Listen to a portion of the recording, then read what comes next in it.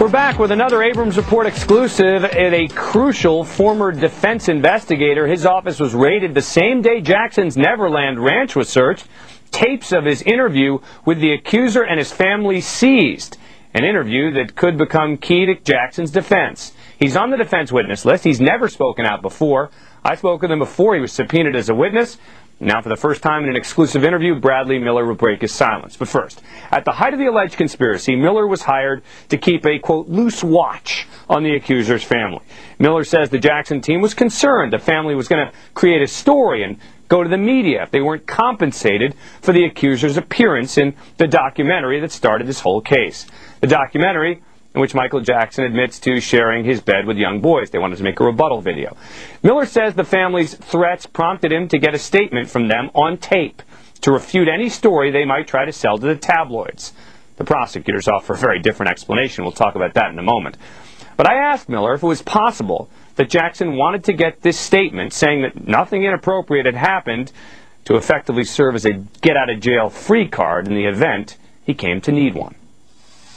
It is my belief, from what I was told at the time and what I observed, when they started making threats, Michael realized this was not a family he needed around him. And I think he would have done anything he could at that time to distance himself from them or to distance them from him. The, the answer to the question would be no, though. So you're saying that Michael Jackson was already nervous that this family might make allegations against him.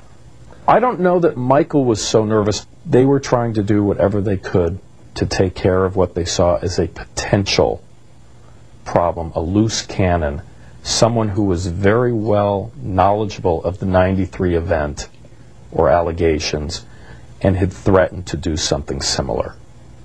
And that's why it's so interesting that we have the same cast of characters. You think the boy was up to that, or just his mother? From what I understand, the boy apparently is also, or was, very much aware of the uh, 1993 case. So you think the 13 year old, 12 year old boy suffering from cancer is thinking about the big payout from Michael Jackson? I will tell you, Dan, that this family, every conversation I had with them, every meeting I had with them, any interaction with them centered around either money fame, celebrity, and or possessions. We're back with another Abrams Report exclusive, my interview with a crucial figure in the Michael Jackson case. Former Jackson investigator Bradley Miller, he's on the defense witness list. He's never spoken out, but before he was subpoenaed as a witness in the case, he gave me an exclusive interview.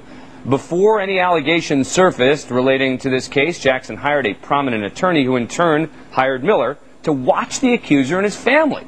Prosecutors say it was part of the effort to make sure the family agreed to participate in a video to restore Jackson's reputation. Miller says it was for a very different reason that he was told the family had threatened to make up charges against Jackson and go to the tabloids. The family apparently was aware of prior allegations that had been made against Michael in the past and had hinted that there was really nothing keeping them from doing something similar unless my understanding was they were very concerned and upset that they were not compensated for the Bashir documentary which had aired. So you're saying before any of these allegations were made that Michael Jackson was worried that there were going to be false allegations made? I think he, from what he saw of this family, I think he had come to the realization that they were probably capable of just about anything. What were you asked to do?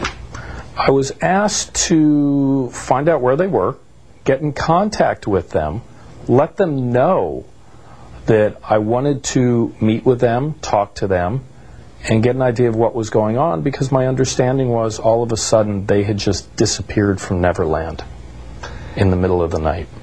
And so are they sending the private eye out there to monitor them? It was. It certainly wasn't to control them in any way. It was to just keep a real loose watch on who they were meeting with and what they were doing. We then decided that before this goes any further, perhaps it's time to get a sworn statement from them stating what the circumstances were. If anything ever did happen, if it didn't.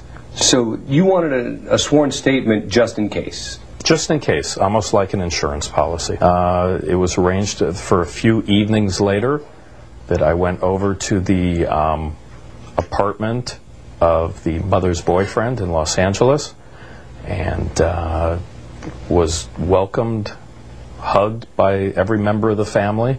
What did you say? I asked um, each of them if anything had ever, anything improper had ever happened.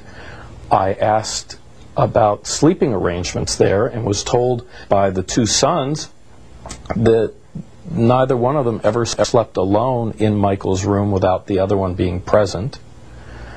That nothing ever happened, nothing out of the ordinary, nothing sexual. You asked nothing specifically, did anything sexual ever happen? I believe I asked if they were ever inappropriately touched or anything along those lines, and I was told absolutely not. That Michael was like a father. He was the only father the children had known. No intimidation at all to make her make this tape. Absolutely none, Dan. You're there by yourself. All by myself with my tape recorder. Any people downstairs?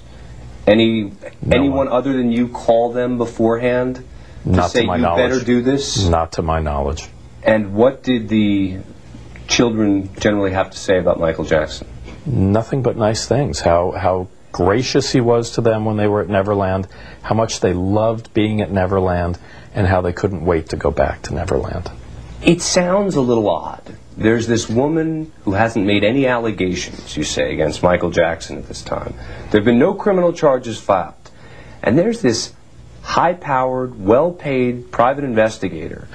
Not in light of what happened 10 years earlier and the fiasco that that became.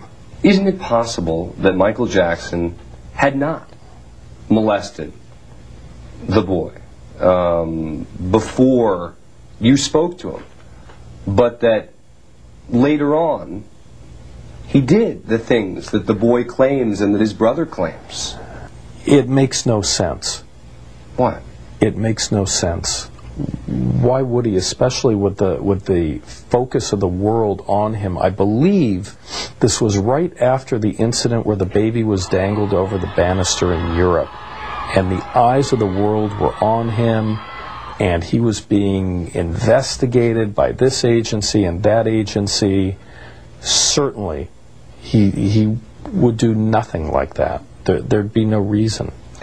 And did anyone involved in the Jackson camp give you the sense that "Well, we got to cover up for Michael? You know the way Michael is sometimes with boys. No, no, no. It was always characterized to you as the possibility of false accusations. It was always characterized as uh, nothing more than an attempt to extort money. And if they were going to extort money, why make the criminal allegations as opposed to just suing him? Well, it's been my experience that if you can get a criminal conviction against someone, it makes a civil case a slam dunk or much, much easier.